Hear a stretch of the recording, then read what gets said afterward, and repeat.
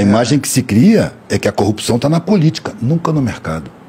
Quando acharam 51 milhões com o Gedel, Gedel Vieira, o baiano, uhum. 51 milhões no apartamento dele em cédulas, em malas e tal, foi a grita geral da, da, da mídia, pá, e execrar o cara e papapá.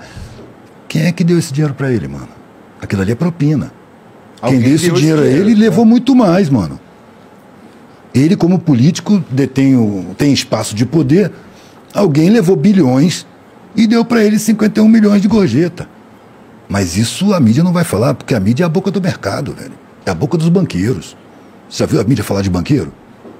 No entanto, o banqueiro é que manda na porra toda. O que, que os candidatos fazem antes de se candidatarem? Vão lá com poucos banqueiros. Se tiver apoio dos banqueiros, tem possibilidade.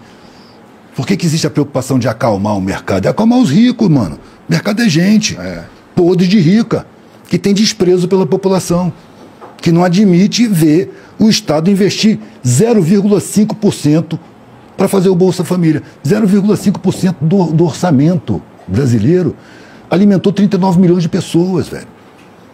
Abriu espaço para pobre entrar na universidade, um punhado, não é obrigação. O Estado não está cumprindo a obrigação.